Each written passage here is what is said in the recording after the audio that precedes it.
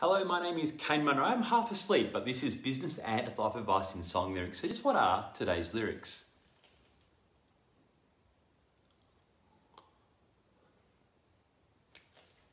Now, it's a fact that often we keep holding on to things even after they've clearly run their course. Now, hands up who held on to that relationship a little too long and it gets all toxic at the end. Well, yeah, hell yeah. Uh, hands up who stayed in the job they hated because it was easy or it paid well or you didn't really want to change, even though the boss, the boss was a jerk. Yep, hell yes.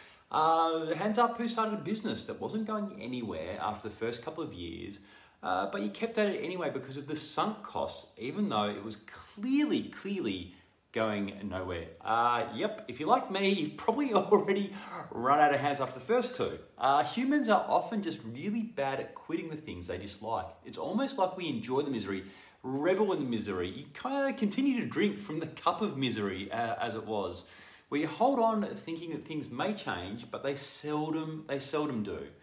So how do you know when to give up on something?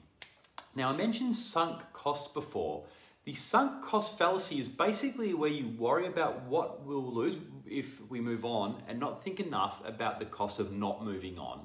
Uh, we basic, basically prioritize not losing what we've spent rather than thinking rationally about the additional resources we will lose by continuing down the same miserable old path. So rather than getting caught up in this death spiral, you really need to deliberately refocus your thinking on the gains uh, so you can be more objectively uh, in the way you weigh up the alternatives. You need to ask yourself basically, what might you gain by cutting your losses right now? Will you be happier? Uh, will you have more time? Uh, will you open yourself up to more or better opportunities? Uh, and if it is, if it is a relationship, uh, if it's a relationship thing, then it's pretty hard to meet new people when you're still hooked up to that old, old misery guts who makes you sad or makes you mad. Uh, again, you can only truly control your effort and your attitude, but you can and should ask other people their opinion on your situation. Rather than relying solely on your own thinking and instincts, you should consult with friends, maybe family, uh, to get their opinions. Uh, maybe they have been in the exact same situation as you before and you didn't know.